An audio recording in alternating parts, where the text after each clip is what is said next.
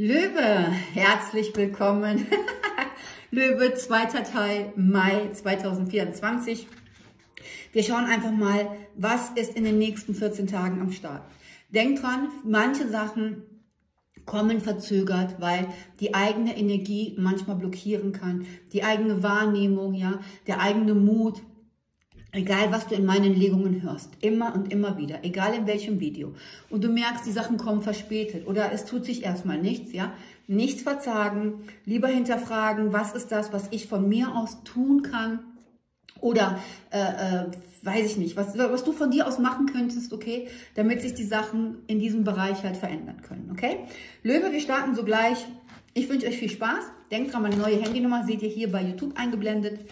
Für Mai habe ich nur noch einen Termin frei für eine Legung äh, von einer Stunde oder halt eine zielorientierte Therapie. Solltest du aber einen Notfall haben, kriegst du von mir natürlich noch einen Expresstermin, ja? Von 30 Minuten dann aber auch nur.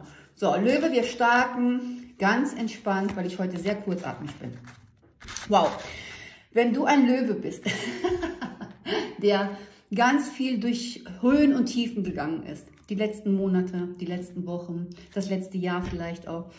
Ähm, viele Löwen haben ein bestimmtes Ziel, eine bestimmte Vision, ein bestimmtes äh, Programm, eine bestimmte Vorstellung. Egal welcher Typ Löwe du bist. Ja, das Video würde zu lange dauern, wenn ich alle Typen Löwen aufzeichnen würde. Meine Tochter ist auch Löwe, aber Löwe durch und durch. Ich sage es euch, aber Löwe durch und durch, okay? Löwe, halte an deiner Vision fest. Halte an deiner Meinung fest, okay? Halte an deiner, wie heißt das, besonderen, feinfühligen, temperamentalen Entschlossenheit fest. Was für ein toller Satz, der ist mir gerade so spontan eingefallen.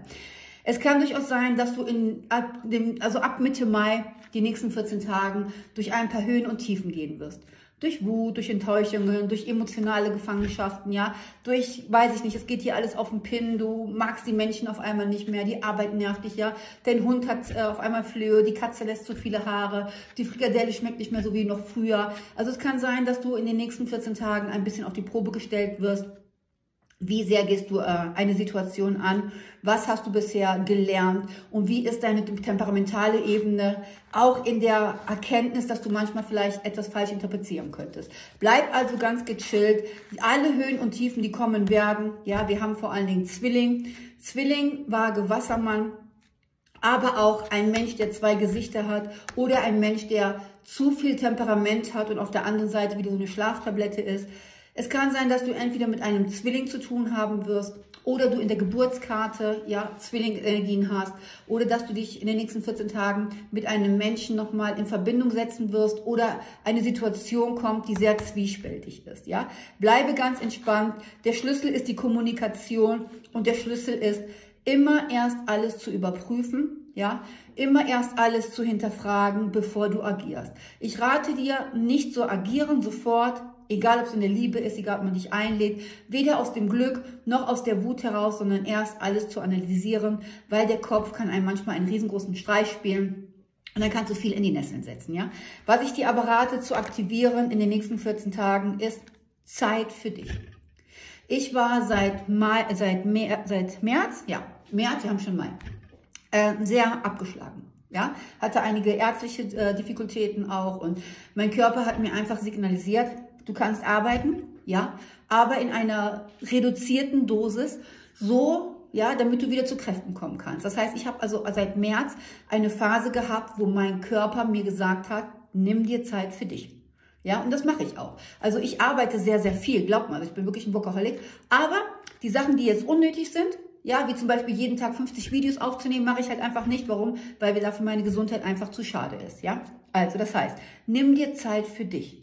In der zweiten Maihälfte wirst du eine Liebesgeschichte oder eine Herzenergie, etwas, was emotional äh, zu dir kommt oder was dich emotional beschäftigt, kann auch mit einer Mutter sein, kann auch mit einem Kind sein, kann auch einfach nur mit dem Nachbarshund sein. Ja, eine Sache, die dir emotional sehr sehr nahe geht, wird nochmal ein anderes Blickfeld oder einen anderen Blickwinkel bekommen.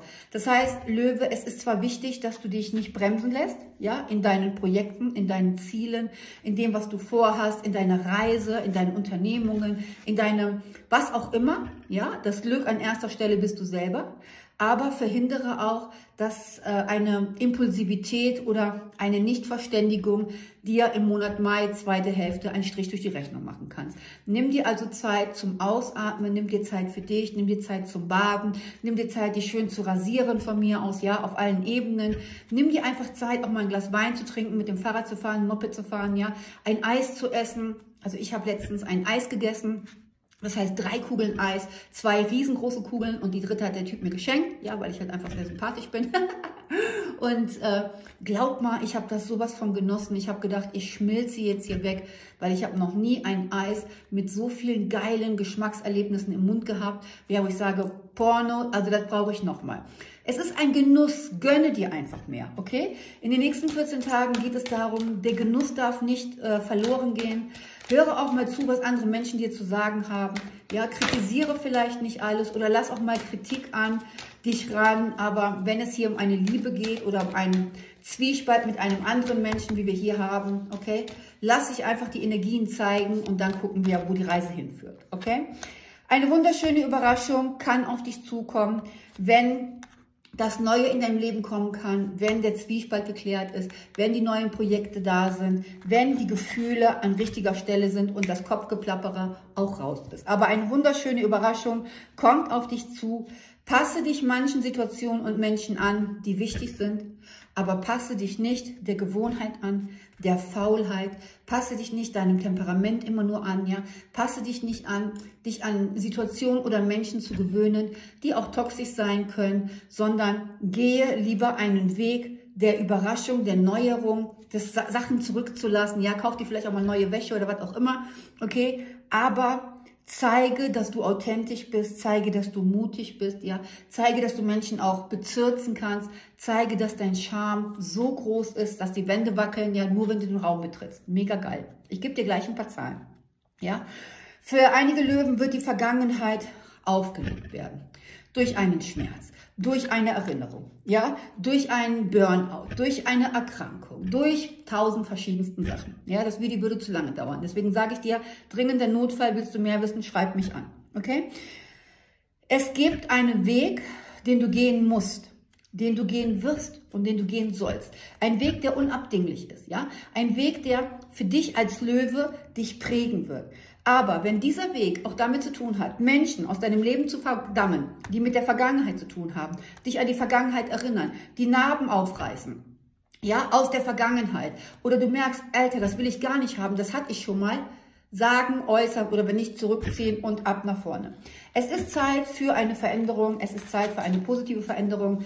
Warte nicht länger, schiebe nichts vor dich hin, aber wenn du etwas machst, erst entscheiden, erst überlegen, erst abwägen und dann ab nach vorne.